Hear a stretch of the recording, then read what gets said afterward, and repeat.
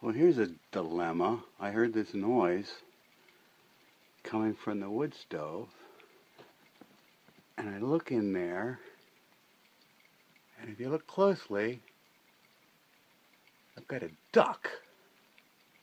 D U C K.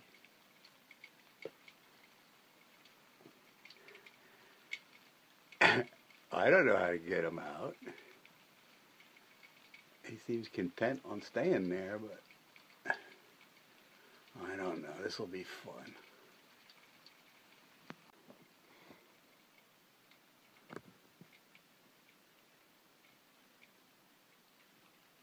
Hmm. I don't know what I'm going to do.